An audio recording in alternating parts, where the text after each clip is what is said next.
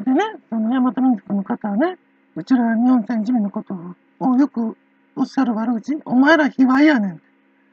それわざわざ侵略してきてまで言うことですか？それ言いに来たの。お前ら卑猥やねんって言うために日本を侵略したの？大和民族は。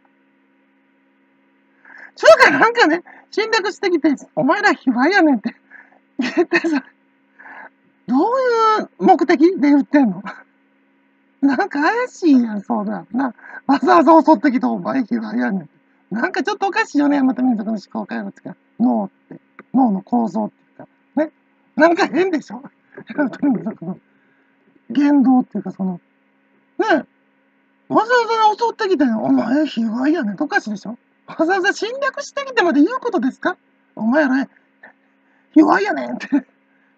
なんかそれあれな、なんか、なんかあれなんそれ。なんかあれなんかそれ。あれなんかそれ。なあ、おい。